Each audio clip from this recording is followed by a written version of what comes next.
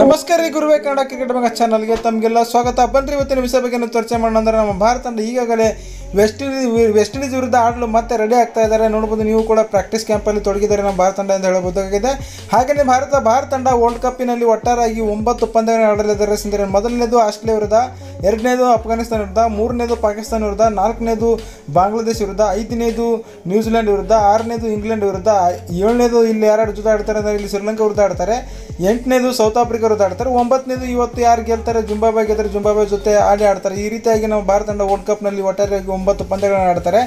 ಹಾಗಾಗಿ ಸ್ನೇಹಿತರೆ, ಇವಾಗ ನೋಡ್ಬೋದು ಎಂ ಎಸ್ ಧೋನಿ ಅವರು ನಾಲ್ಕನೇ ನಂಬರ್ಗೆ ಭಾರತದಲ್ಲಿ ನಡೀತಾ ಇದೆ ಈ ವರ್ಲ್ಡ್ ಕಪ್ಪು ಈ ವರ್ಲ್ಡ್ ಕಪ್ ಭಾರತ ನಡೆಯುವುದರಿಂದ ನಮ್ಮ ಧೋನಿ ಅವರು ನಮ್ಮ ತಂಡಕ್ಕೆ ನಾಲ್ಕನೇ ನಂಬರ್ಗೆ ಇವರೇ ಸೂಕ್ತರು ಎಂದು ಒಂದು ಹೆಸರು ಸೂಚಿಸ್ತಾ ಇದ್ದಾರೆ. ಹಾಗೆ ಸಾರವ್ ಗಂಗೂಲಿ ಪ್ರಕಾರ ಭಾರತದಲ್ಲಿ ನಡೆಯುವುದರಿಂದ ಭಾರತ ಆರ್ ಅಶ್ವಿನ್ ಮತ್ತು ಜಡೇಜಾ ಅವರನ್ನು ಬಿಟ್ಟು ಮೂರು ಸ್ಪಿನ್ನರ್ಗಳನ್ನು ಆಯ್ಕೆ ಮಾಡ್ಕೊಂಡಿದ್ದಾರೆ. ಅವ್ರು ಯಾರ್ಯಾರಿದ್ದಾರೆ? ಆರು ಬ್ಯಾಟ್ಸ್ಮನ್ ಮೂರು ಸ್ಪಿನ್ನರ್ ಯಾರ್ಯಾರಿದ್ದಾರೆ ಎಂಬ ಕೂಡ ಈ ವಿಡಿಯೋದಲ್ಲಿ ನಿಮ್ಮ ಜೊತೆ ಚರ್ಚೆ ಮಾಡ್ತೀವಿ. ಚರ್ಚೆ ಮಾಡೋಕ್ಕಿಂತ ಮುಂಚೆ ನೀವೇನು ಮಾಡ್ತೀರಾ ಅಂದರೆ ವಿಡಿಯೋ ಕೊನೆವರೆಗೂ ನೋಡ್ರಿ ಲೈಕ್ ಕೊಡೋದಂತೂ ಮರಿಬೇಡಿ ಸ್ನೇಹಿತರೆ. ಸ್ನೇಹಿತರೆ, ಎರಡು ಸಾವಿರದ ಇಪ್ಪತ್ತ್ಮೂರರ ವರ್ಲ್ಡ್ ಕಪ್ಗೆ ನಮ್ಮ ಭಾರತ ತಂಡ ಅಂತೂ ಇವಾಗ ರೆಡಿಯಾಗಿದೆ ಒಟ್ಟಾರೆಯಾಗಿ ಒಂಬತ್ತು ಪಂದ್ಯ ಆಡಲಿದ್ದಾರೆ ನಮ್ಮ ಭಾರತ ತಂಡದಲ್ಲಿ. ಈ ಒಂಬತ್ತು ಪಂದ್ಯಗಳು ಸೂಪರ್ ಡೂಪರ್ ಆಗಿರುತ್ತೆ ಸ್ನೇಹಿತರೆ. ಯಾಕಂದರೆ ನಮ್ಮ ಭಾರತ ತಂಡಕ್ಕೆ ಪ್ಲೇಯಿಂಗ್ ಎಲ್ಲೋನಲ್ಲಿ ಎಸ್ ಎಸ್ ವಿ ಜೈಸ್ವಾಲ್ ಅಂತ ಆಟಗಾರರು ಅವ್ರಿಗೆ ಚಾನ್ಸ್ ಸಿಕ್ಕಿಲ್ಲ ಸ್ನೇಹಿತರೆ, ಇವಾಗ ರೋಹಿತ್ ಶರ್ಮಾ ಅವರು ಓಪನಿಂಗ್ ಮಾಡ್ತಾರೆ.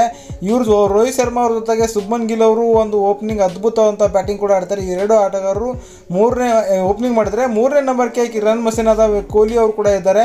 ನಾಲ್ಕನೇ ನಂಬರ್ ನೋಡಿ ಸ್ನೇಹಿತರೆ, ಇಲ್ಲಿ ಧೋನಿ ಅವರು ಚರ್ಚೆ ಮಾಡ್ತಾ ಇರೋದು ಸೂರ್ಯಕುಮಾರ್ ಯಾದವ್. ಇವರು ನಮ್ಮ ಭಾರತ ತಂಡಕ್ಕೆ ಅದ್ಭುತವಾದಂಥ ಆಟಗಾರ. ಯಾಕಂದರೆ ಇವರು, ಇವರಿಂದನೇ ನಾವು, ಯಾಕಂದರೆ ಸ್ಪಿನ್ನರ್ಗಳ ಹವಳಿ ನಡೀತಾ ಇದೆ. ಭಾರತದಲ್ಲಿ ಸ್ಪಿನ್ನರ್ಗಳಿಗೆ ಜಬರ್ದಸ್ತ್ ಆಡುವಂಥ ಪ್ಲೇಯರ್ ಅಂದರೆ ಅವರೇ ಅಂತ ಹೇಳ್ತಾ ಇದ್ದಾರೆ. ಹಾಗೆಯೇ ಅದ್ಭುತವಾದಂಥ ಬ್ಯಾಟರ್ ಕೂಡ ಇದ್ದಾರೆ. ತ್ರೀ ಸಿಕ್ಸ್ಟಿಯಲ್ಲಿ ಹೊಡೆಯುವಂಥ ಆಟಗಾರರು ಹಾಗಾಗಿ ಅವರನ್ನು ಚೂಸ್ ಮಾಡ್ಕೊಂಡಿದ್ದಾರೆ ನಾಲ್ಕನೇ ನಂಬರ್ಗೆ ಐದನೇ ನಂಬರ್ಗೆ ಕೆ ಎಲ್ ರಾಹುಲ್ ಇದ್ದಾರೆ. ಅದ್ಭುತವಾದಂಥ ಬ್ಯಾಟರ್ ಅವರು ಈ ಕೀಪ್ ಆಸ್ ಎ ಕೀಪರ್ ಆಗಿದ್ದಾರೆ. ಇವ್ರ ಜೊತೆ ಫೈಟ್ ಮಾಡ್ತಾ ಇದ್ದಾರೆ. ಯಾರಪ್ಪ ಅಂದರೆ ಇಶಾನ್ ಕಿಶನ್ ಹಾಗೆ ಸಂಜು ಸ್ಯಾಮ್ಸಂಗ್ ಕೂಡ ಇದ್ದಾರೆ. ಅವ್ರ ಮೂವರಲ್ಲಿ ಇಬ್ಬರು ಕೀಪರ್ ಒಬ್ಬರು ಕೀಪರ್ ಅಂತೂ ಪ್ಲೇಯಿಂಗ್ ಆಡಿ ಆಡ್ತಾರೆ ಅಂತ ಹೇಳ್ಬೋದಾಗಿದೆ. ಯಾಕಂದರೆ ಈ ಇವ್ರ ಜೊತೆ ಹಾರ್ದಿಕ್ ಪಾಂಡ್ಯ ಅವರು ಆರನೇ ನಂಬರ್ಗೆ ಬ್ಯಾಟಿಂಗ್ ಆಡ್ತಾರೆ. ಒಟ್ಟಾರೆಗೆ ಆರು ಆಟಗಾರರು ನಮ್ಮ ಭಾರತ ತಂಡಕ್ಕೆ ಒಂದು ಅದ್ಭುತವಾದಂಥ ಬ್ಯಾಟರ್ಗಳಿದ್ದಾರೆ.